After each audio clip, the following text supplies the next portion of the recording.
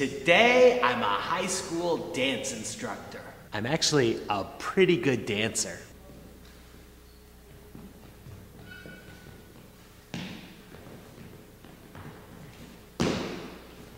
Pretty good, huh? When I was in college, I took tap dancing. Got an A. I showed up every day. I was enthusiastic. Tappa, tappa, tappa, tappa, tappa, tap. Tappa, tappa, tappa. If you get that reference, you are the coolest person in the world. That was from The Simpsons. Dope!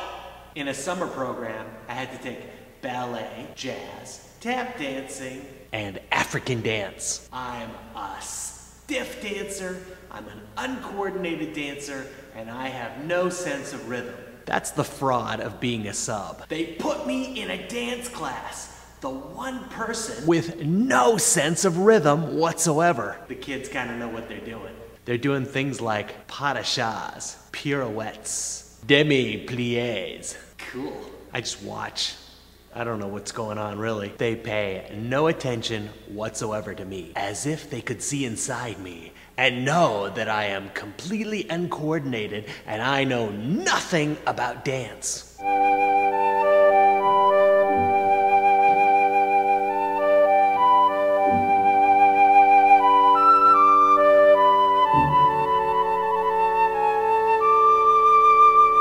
Dancing is my life. Life of a sub.